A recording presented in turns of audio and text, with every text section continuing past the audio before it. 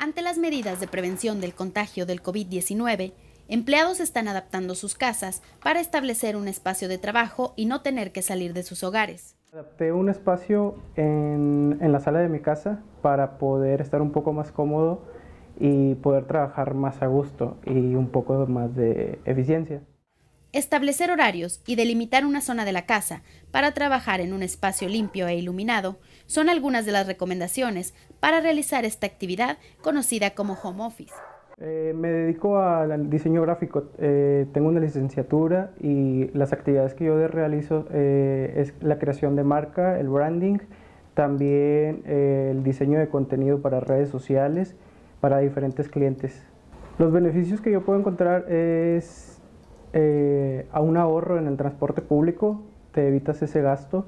Al igual, eh, los que tienen vehículos se podrían ahorrar el gasto de, del combustible y podría, no tienen que hacer tiempo de traslado también.